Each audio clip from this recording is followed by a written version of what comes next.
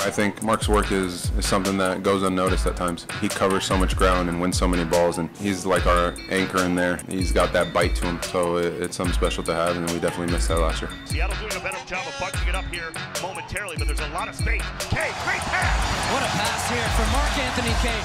Bail in the area shot! Goal! I say a lot of times, like, I love to have Mark in my back because he do everything. He's always in a good flow to help in any part of the field. Kaye going back to Ramirez, goal! Oh! 4-1 LAFC, and this one might be the best of them all! This guy is so important for us. I hope this year he can be better play every game because he worked really hard. I'm happy to have Mark uh, there and I hope can be important for the team.